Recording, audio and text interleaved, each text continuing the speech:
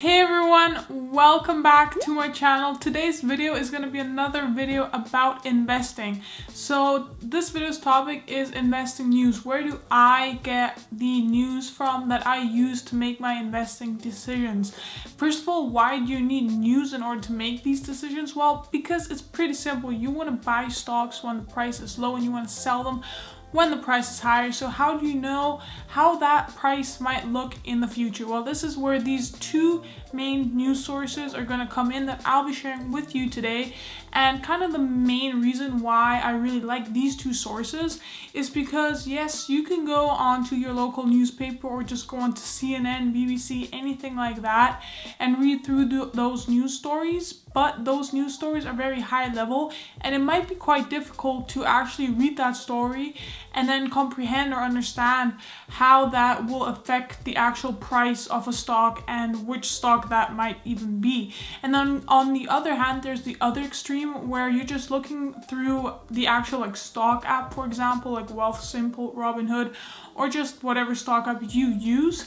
And there it might be really hard to kind of connect that with the news because you, you might not be able to really interpret those numbers. Um, what does it mean that, I don't know, this value decreased by one and this value increased by two?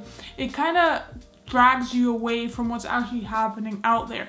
And these two news sources that I'm sharing with you today kind of form the best middle ground between numbers and actual high level news.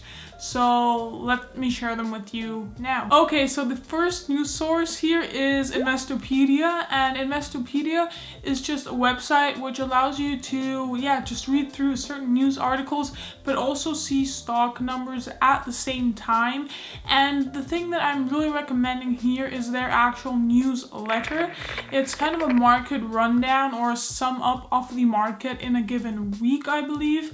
And it just offers you, first of all, news articles numbers, graphs, all of that good stuff, and they all kind of connect together so that it really, really helps you out to connect the story with the numbers to then drive your investing decisions.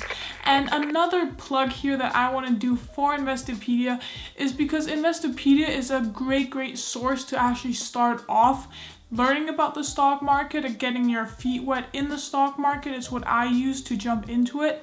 They have a whole stock market simulator that I would highly encourage all of you to take a look at.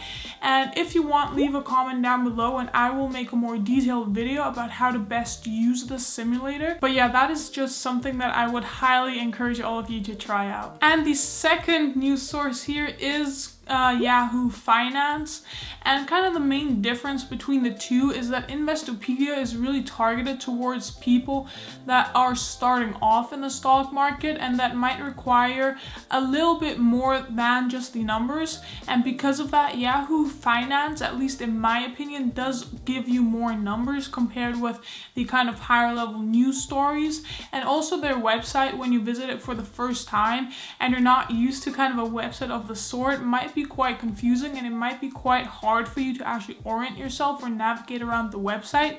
But again, here it's really important to just mainly focus on those news stories, not get too carried away by any of the graphs and numbers on the side, and then really just use those after you've read a story to check how is the um, stock doing right now and how might that story impact it in the future. So um, one thing I really like about Investopedia, as I said, is their newsletter.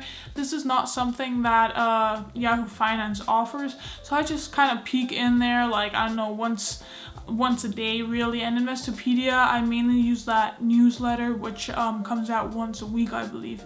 So yeah those were the two news sources I wanted to share with you today. I really encourage you use these two sources when it comes to your finance decisions and I hope you enjoyed this video. Leave a like if you did Comment down below if you use any of these, if you use any other news sources, because I'm always looking for more. And subscribe if you're not subscribed already, because um, I'd love to see you here again. Stay safe, and I'll see you soon.